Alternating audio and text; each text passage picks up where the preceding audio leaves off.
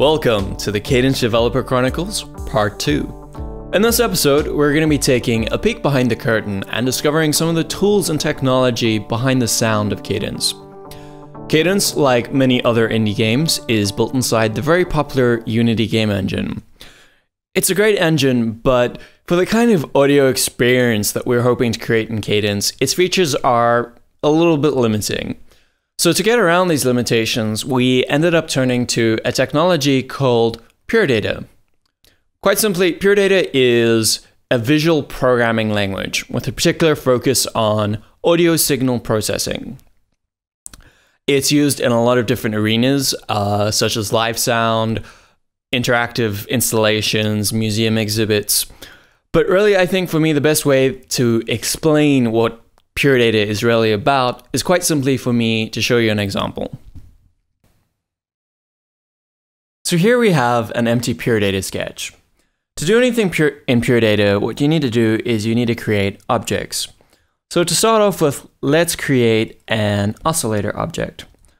Now all this is going to do is this is going to generate a sine wave frequency signal for us. In this case at 440 hertz.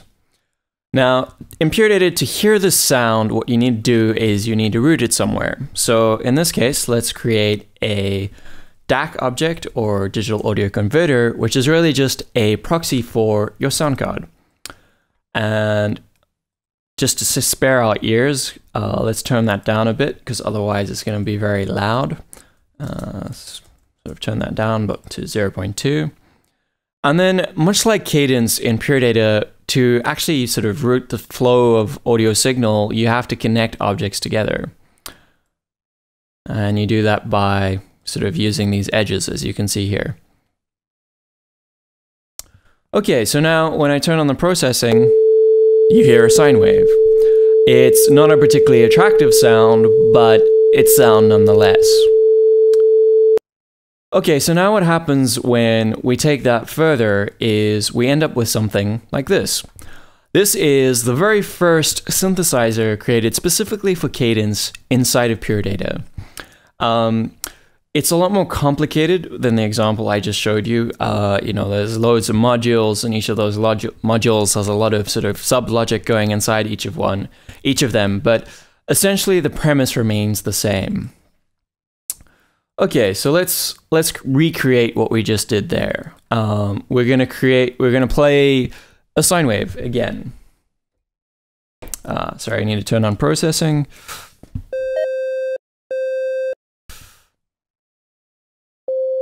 Okay, so there you go, a sine wave.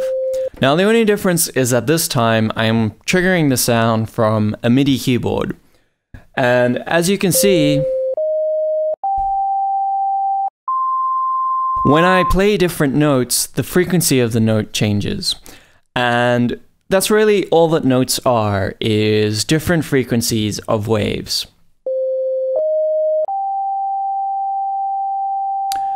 Okay, so now what we're going to do is we're going to take a second sine wave and we're going to feed that into the first. And what you're going to notice as we do this is that the harmonics of the sound are going to become a lot more complex.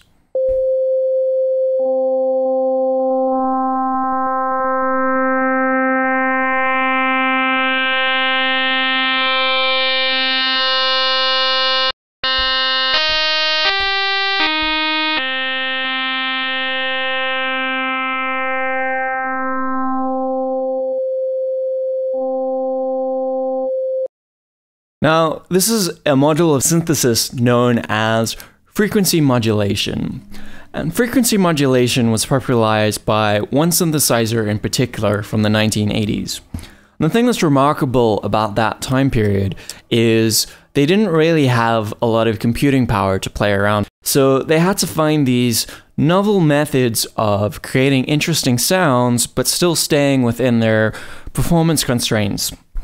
And that's why we chose that synthesizer for Cadence, because in real time games, we have very similar constraints in terms of the fact that you know, every single frame, the game has to render all of its assets and do a whole bunch of things other than just generating sound. So, in other words, we're also operating within quite a constrained performance environment. So the great thing about frequency modulation is it's a model that allows you to get a great deal of variation um, out of a very simple premise. So, for example, you know, you could get quite a sort of narrow contained sound like this.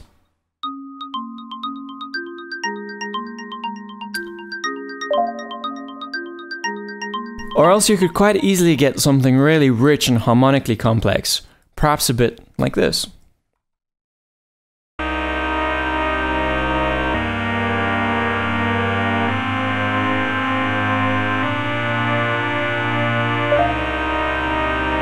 Let's try a few different sounds to see what else is possible.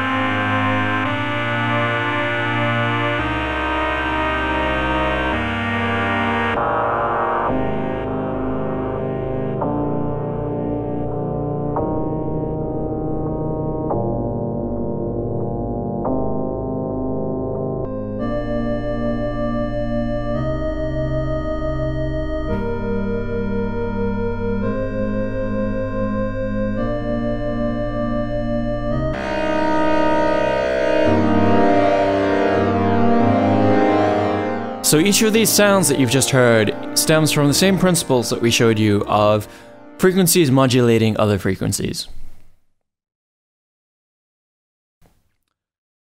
Next up, we're going to take a peek at how we might create one of those presets that you just heard. First thing you might notice is that we no longer have the graphical interface from Pure Data. That's because in order to use Pure Data inside Unity, we have to embed it as a plugin. What that means is that it now only exists in code. So to get around that, what I'm doing is I have an iPad application that allows me to create custom MIDI interfaces. And MIDI is it's a standardized music messaging format.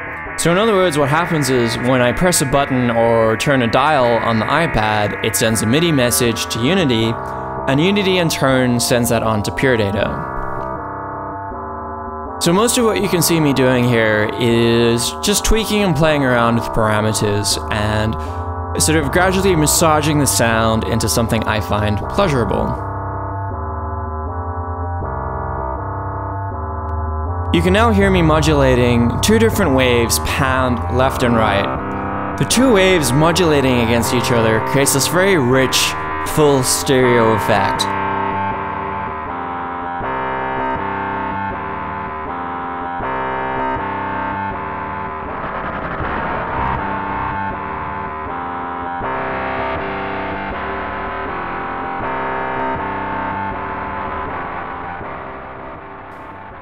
A huge thank you to everyone who voted for Cadence on Greenlight. We have in fact been greenlit, which is fantastic news. It means we'll be coming to Steam in the not too distant future. To find out when that future is, head on over to our website, www.madewithmonsterlove, where you can get future updates as well as sign up for our newsletter. That's all for now. Cheerio.